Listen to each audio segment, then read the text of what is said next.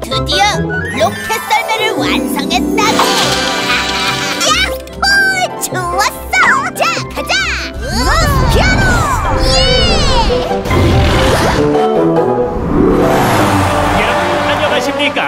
아나운서 너 오리입니다. 노스피아 슈퍼썰매 그랑프리는 말이죠 스타트를 출발해가지고 전담호 구간과 고대 얼음동굴 해바스 구간을 통과한 뒤에 다시 스타디움으로 돌아오는 눈썰매 경기입니다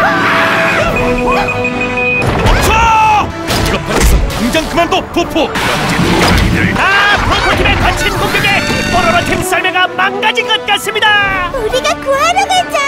루피 눈폭풍 때문에 연기구로는 갈 수가 없어. 큰일이다. 연료도 다 떨어져 갈 텐데. 어, 이제 어떡하면 좋지? 안 되겠어. 슈퍼 점프를 써야겠어.